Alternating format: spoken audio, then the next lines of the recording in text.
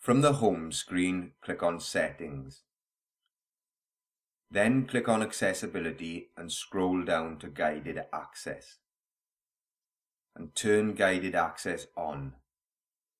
And then click Passcode Settings and enter a passcode.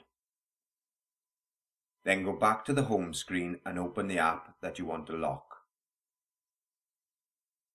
When the app is open, click three times on the Home button and you will be presented with the guided access menu options. Click on Start and that's it, the iPad is now locked to the one app. If a user tries to exit out of the app, a notice will appear telling them that guided access is enabled. If you want to stop guided access, triple click the home button and enter the passcode. And then click on end.